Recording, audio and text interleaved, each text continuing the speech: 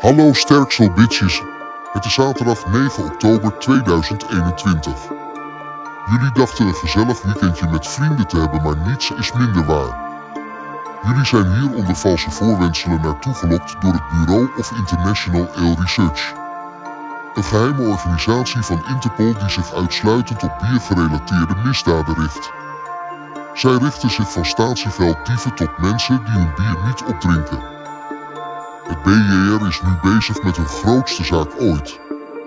Naar verluidt is de beruchte dief Peter Erdinger naar dit huis gevlucht na het beroven van het La Museum in Ypres. Hij zou in dit museum niet alleen de Corona Lisa hebben gestolen, maar ook het duurste biertje ter wereld, de Leuvenbreu.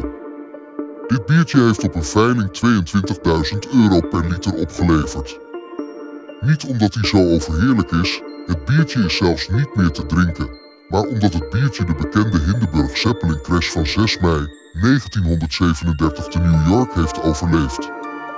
Het BJR verdenkt Julia Brandt ervan dat ze de gestolen waren van Peter er dingen beheert en op de zwarte markt verpand, al lijkt jullie dit sterk, cel. Dit huis zou zijn gebouwd om de gestolen waren op te slaan. Het BJR heeft al talloze pogingen ondernomen om dit huis te boeken, maar kreeg keer op keer nul op request. Door jullie connectie met Julia is het wel gelukt en daarom aan jullie de taak om de Leuvenbreu te vinden.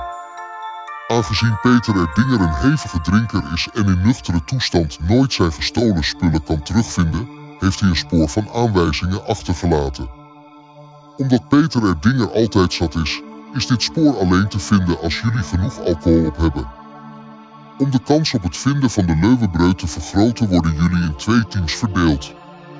Welk team weet de Leuvenbreu als eerste te vinden en ontgrendelen? En voor welk team moet de gifbeker helemaal leeg? We zullen het snel weten. Succes